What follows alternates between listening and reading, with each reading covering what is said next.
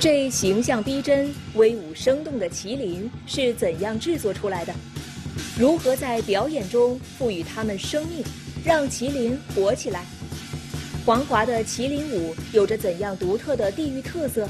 敬请关注本期《农广天地》。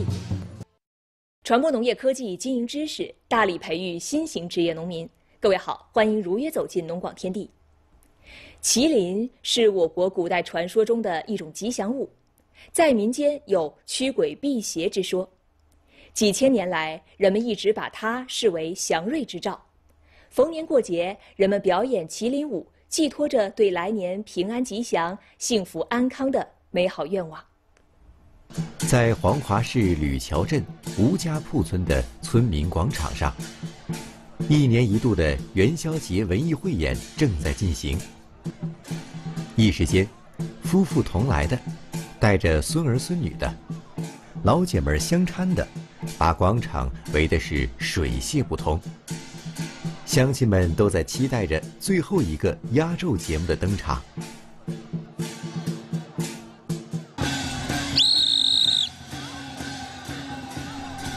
只听一声哨响，一个个庞然大物正在慢慢进入广场中央，伴随着锣鼓声。这些大家伙摇头晃脑，做起了高难度动作。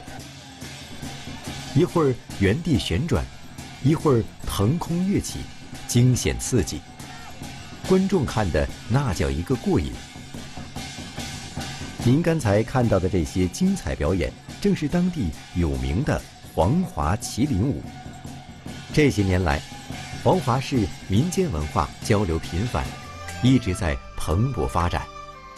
光省级以上的非物质文化遗产项目就有十二个，这其中最有名的就是2009年被列入第二批国家级非物质文化遗产的黄华麒麟舞。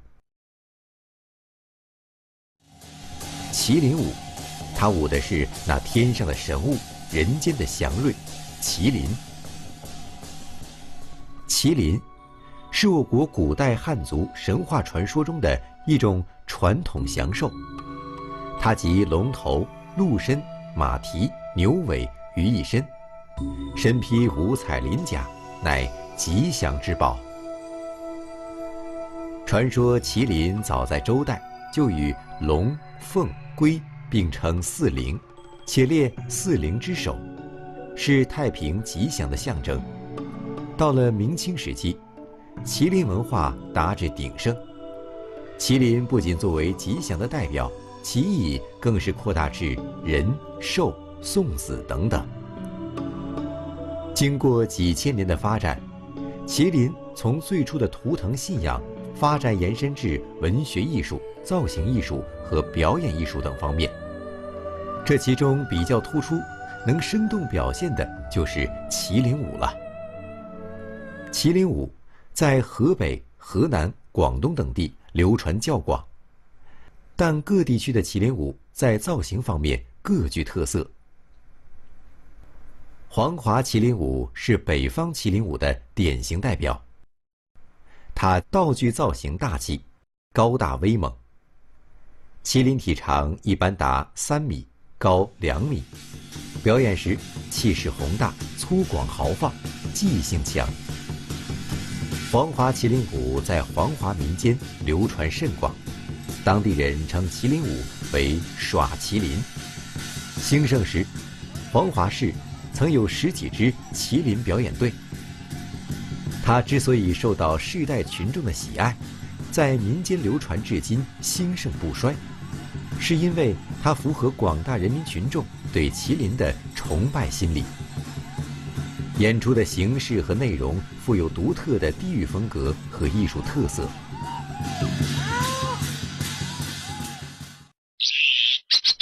据民间考证，黄华麒麟舞产生于明末清初，盛行于黄华西北部文化古乡齐家坞吕桥一带农村。在我们弄这个麒麟的时候呢，就是已经传承了好多年了。具体说什么年代过来的，没有准确的记载。据老们传说呢，是明朝的时候啊，哎，就是说我们的老家呢有在这个宫里啊表演的艺人，明朝后期不行了，呃，这个好像就是说这个明朝灭亡了吧，他们这些人就回家了。回家来之后呢，把这个技艺就带回来了，从制作到表演，在我们老家不是齐家坞吗？就在老家就留下来了。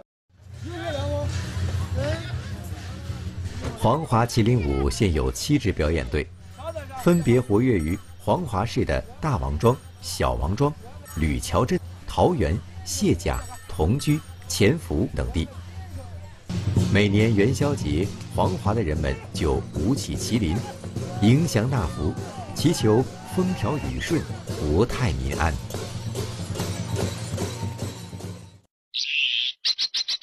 麒麟扎的好。嗯，你看这位老人叫杨印海，他是黄华麒麟舞麒麟扎制国家级代表性传承人。杨印海，一九三六年六月出生在齐家坞乡大王庄一个农民家庭，现在已经是八十的高龄，可是他仍然在不辞辛苦地忙活着麒麟舞的事儿。杨应海小时候非常喜欢看大人们耍麒麟，那时，村里的人每到冬天都会练麒麟。等到正月十五，附近几个村联合起来一起舞麒麟。杨应海十八岁那年，开始向当地艺人学习麒麟舞表演和麒麟的扎制手艺。他悟性高，肯钻研，是远近闻名的能工巧匠。我是从小好乐，是吧？可以干嘛了？我就是耐心玩。我不光扎麒麟，我走马玩灯啊、镜那我都都扎着玩。说起耍麒麟，杨应海回忆起曾经最辉煌的时刻，仍兴奋不已。就是劲情那叫啊！哎，都看好，这观众们忒多了，这人忒多了。那时候也没电视，嘛也没有。就到十五前后，人挤不动啊。就黄华麒麟舞艺术来说，又可以分为麒麟扎制和麒麟舞表演两部分。扎制麒麟是进行表演的前提条件和核心要素。能否扎制出一个完美又实用的麒麟，直接关系到麒麟舞表演的成败。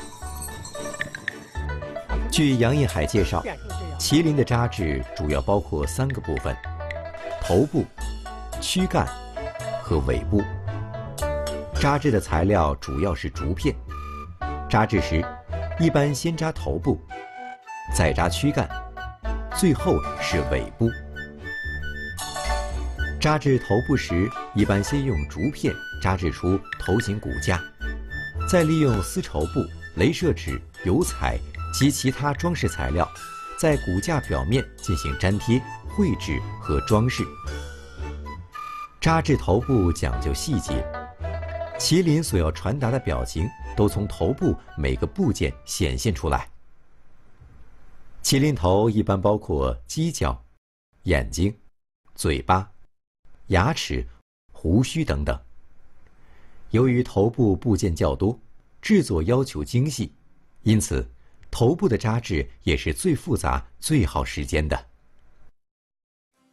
麒麟的躯干主要由竹片和木棍扎制而成，它的内部有三根横梁，材质都是柳木棍，分别为前杠、中杠和后杠。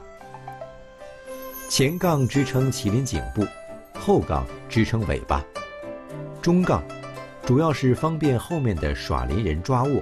操作麒麟，身子上方留一个长方形开口，在开口处绑有背带，供驾临人探出身子驾驭麒麟。麒麟身上最夺眼的就是它的鳞片。据杨应海介绍，原来麒麟骨架完成后，用纸糊好，再用画笔绘出鳞片，但这样做出的麒麟造型简单。缺乏生动性，并且容易破损。后来经过改进工艺，用彩色丝绸和镭射纸做出一片片鳞甲，再把它缝制在麒麟的丝绸外套上。这样做出的麒麟色彩鲜艳，形象逼真，而且结实耐用。啊，麒麟的躯干与头部之间可以自由拆卸。表演时，可以通过麒麟颈部上的挂钩将头挂在上面。比起头和躯干，尾部的制作相对简单。尾部在麒麟整体美观上起着画龙点睛的作用。黄华麒麟的尾巴长且坚硬，挂着绚丽的坠饰，在表演时随风飘扬，不失一种美感。扎制一个完整的麒麟，并不是一件容易的事儿，它需要四个人花上整整一个月的时间才能完成。这样看来，麒麟扎制需要艺人们耗费大量的时间和成本。手舞足蹈、转圈跳跃，这高大威猛的麒麟是怎样动起来的？让麒麟从头到尾活灵活现，驾临人都需要什么样的技巧？如何通过表演给观众呈现一场别开生面的麒麟舞？不要走开，农广天地稍后继续精彩呈现。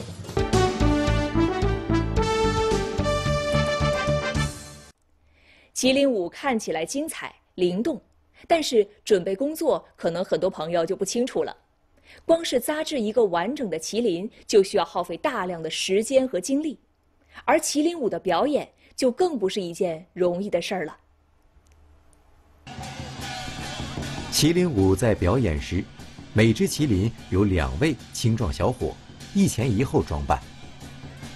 前面的演员肩挎麒麟身，手扶麒麟头，脚踏高跷驾驭麒麟。后面的演员在麒麟内部尾部表演。两人身托几十公斤重的麒麟道具，前者通过动作暗示尾部演员表演，一明一暗配合默契，浑然一体。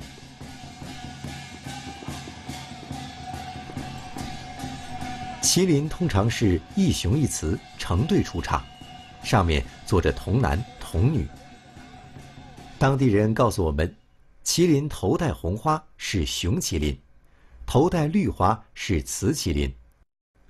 童男头裹头巾，眉心点一个矩形红点；童女佩戴假发，眉心点一个圆形红点。他们代表着天上仙子下凡来。给人间百姓送来儿女，送来吉祥与福气。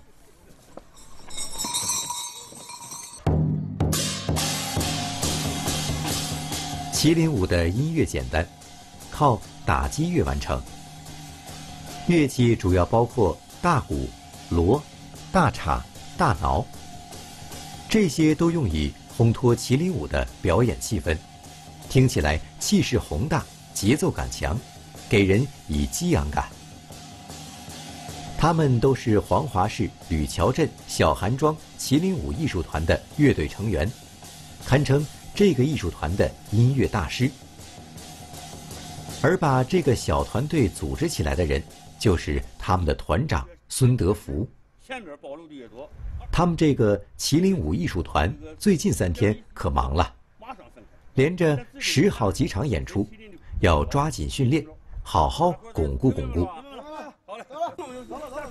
说到黄华麒麟舞，他很是自豪，因为与其他地区的麒麟舞相比，最大的不同就是驾临人要踩高跷，这就让表演更加有难度，也更有特色。咱这个麒麟，它要是用高跷呢，因为咱这个麒麟体积比较大，而且它是这个就就是咱这个道具。很很庞大，不用高跷，就说把这个玩意儿你衬托不起来。只有说穿上高跷，显着又壮观又宏伟。瑞兽它必须有的是个鳞呐或者鬃啊毛啊达不到一定高度，它就说不不便于表演。好，好。驾临人不仅要脚踩高跷，而且还要支撑整。整个麒麟，大约百分之九十的重量都在他的身上。单人背着是六十八斤，如果后边人下去就一百多斤了。下来的时候，几乎浑身前后背都湿透了。两个人一起耍的，他当然会，比如摆头的时候，都会抬起来撞一下子，也会觉得疼一些。前边把一个麒麟生龙活虎地舞动起来，驾麟人的确需要消耗大量的体力。然而，负责麒麟尾部的演员也并不轻松。他不仅要帮助驾龄人减轻重量负担，同时还要与驾龄人配合好，掌握平衡，保证驾龄人不能摔倒。另外，还要保证表演的时候更加有看点，让麒麟从头到尾都活络起来。一不他累呀，他得活络，不活，那是光头活是死的。那一直受不了，你看冬天那么冷啊，没有穿棉袄的，加这个毛衣都不穿呢。人又热，他累呀，老是换人呐，刷着刷着累了，一看不行了，这个刷的呢，就靠了边了，一靠边就人就啪踢过来了。你可是你要是会演去，你换人行吗？那不假了吗？是吧？就得个下来。那那得好小伙子，你就得坚持呗。黄华麒麟舞，同其他民间传统舞蹈一样，也会遵循一定的套路，在表演的过程中，处处洋溢着喜庆，大部分动作背后都有深刻的寓意。这样出来之后呢，他们来一个圆满，就说莲花不出来以后来个圆满，就围场转。转一圈就是寓意着生活圆满，哎，这是一个寓意。回来之后呢，穿着走八字，八字呢就是按现在说吧，八寓意着也是发，好似成双，这不是两个圆了吗？呃，两个两个圆，哎，也像也像一个葫芦一样，也代表福禄的意思，哎。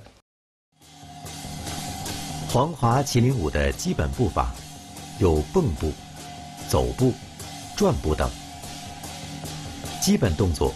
有左右摇摆头、后蹲、腾跃、抖颤。其中比较有代表性的动作是闪、转、腾、颤。闪所表现的是麒麟的敏捷灵动，带给人们的是喜悦与福泽。具体说起来，是两个麒麟在相互靠近之后。迅速向两边躲闪。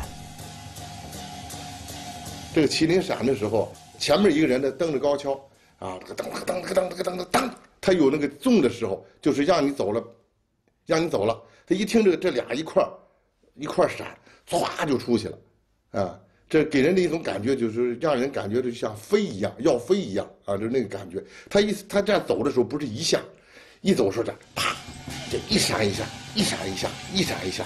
这随着这个点，当当当当，就闪过去了。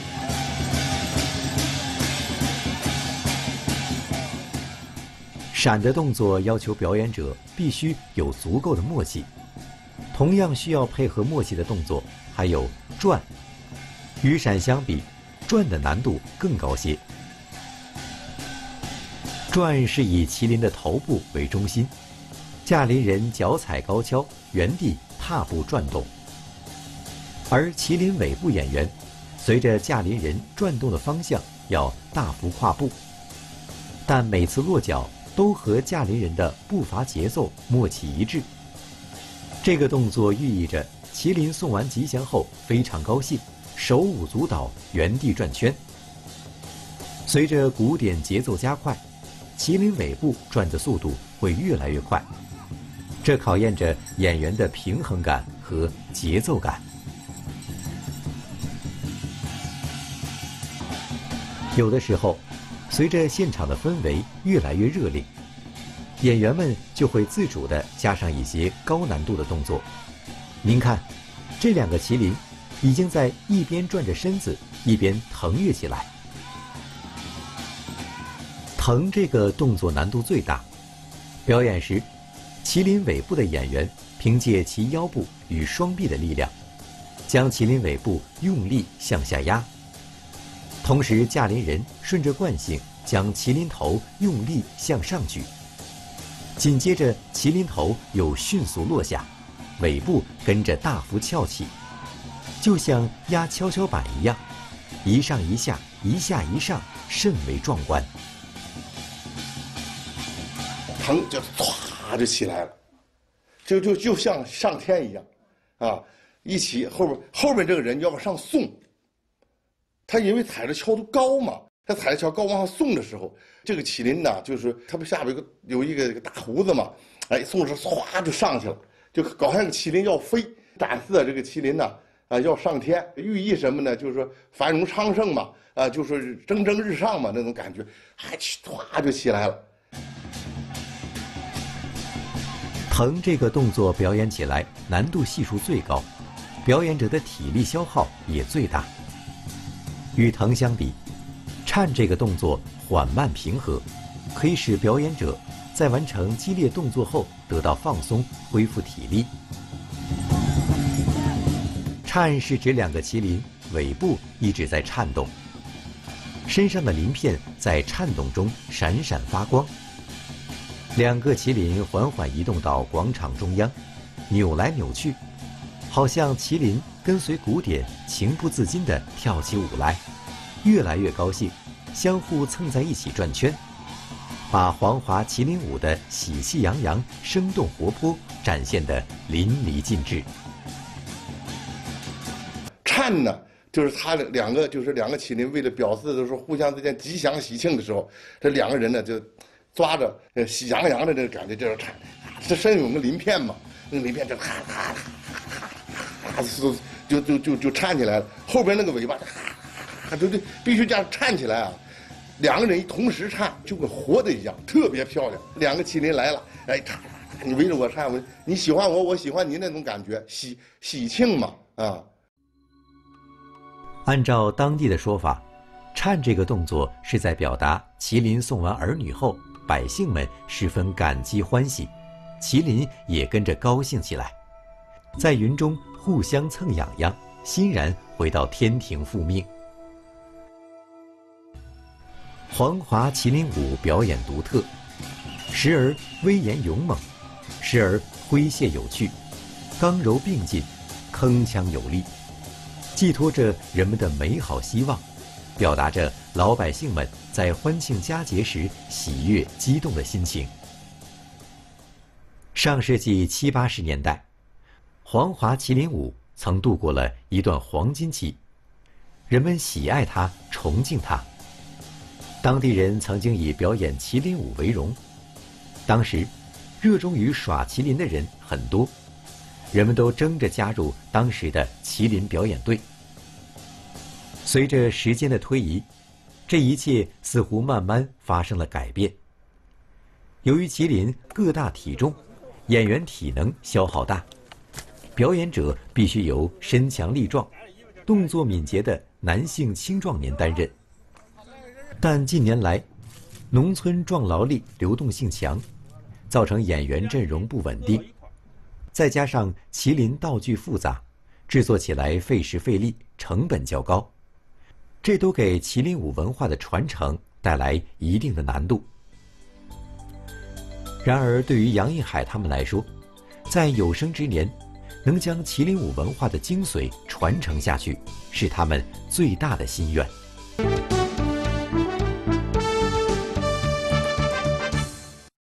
麒麟舞尽管是一种古老的拟兽类民间舞种，但它承载着历史与文化，并将音乐、舞蹈。工艺美术杂技集于一身，不仅具有美学的欣赏价值，又有文艺、宗教、民俗的历史研究价值。未来，这门传统的民间艺术还需要更多的接班人，让麒麟舞更好的传承、发展和创新。好了，今天农广天地就是以上这些，非常感谢您的关注。如果您想查询栏目的更多内容或讯息，可以登录农广天地的央视网官方网站。下期节目我们再会。